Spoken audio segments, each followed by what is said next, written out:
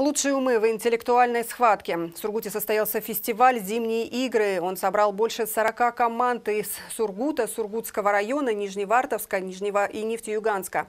На одни и те же вопросы отвечали школьники, студенты и работающие югорчане. Почему участники турнира сравнивают свое участие в нем со спортом, расскажет Лиана Киямова. Рождественской дыркой в Британии называли дополнительную дырку, которая после новогодних праздников появлялась в чем?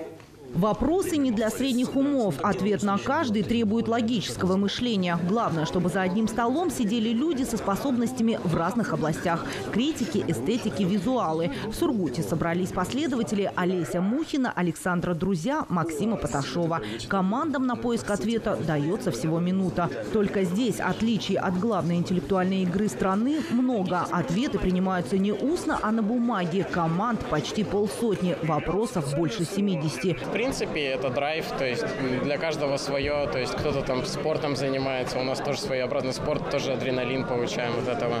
Готовились участники к чемпионату, как спортсмены к соревнованиям. Несколько месяцев. Тренировки проводили в учебных заведениях и дома. Собирались команды и штудировали все. От школьного материала до газетных сплетен. Здесь одни и те же вопросы получают как школьники, так и взрослые работающие люди. На одной площадке проходят сразу три чемпионата. Городской, отборочный на Кубок Югры и первый в истории округа межрегиональный отбор на студенческие всероссийские игры. Это популярная форма тренинга действительно здесь мы отрабатываем компетенции и командообразования, и делегирования, и э, решения задач, и э, стрессовых ситуаций. Может, здесь, по сути, нужно найти решение какой-то проблемы. В рамках интеллектуальных игр участники состязались не только в «Что, где, когда». Они испытали свои знания в стиле брейн-ринг, эрудит квартет, мультиигры. Именно на этом чемпионате команды набрали зачетные очки, необходимые для отбора на студенческий чемпионат России. Он состоится в апреле в городе Тула. А кто туда отправится, это будет известно по итогам